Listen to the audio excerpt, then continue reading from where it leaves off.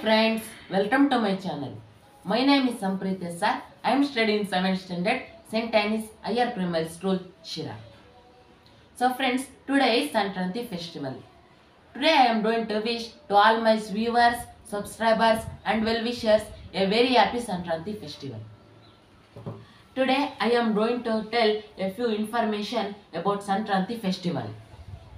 Sankranti festival is the first and foremost festival on the Hindu calendar. It is celebrated on 14th or 15th January every year, depending on the solar cycle.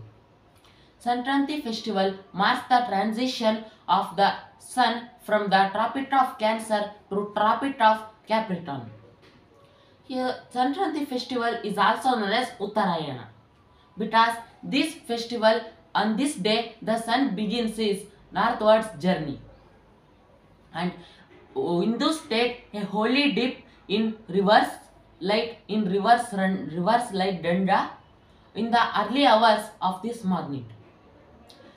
Sankranti festival is celebrated throughout India in different countries with different names like Pongal, Lohri, Kichidi, uh, Sankranti, Uttarayana like that. In our state Karnataka, we celebrate it as Sankranti festival. So friends, this is the all the information that I gave you about Sankranti festival.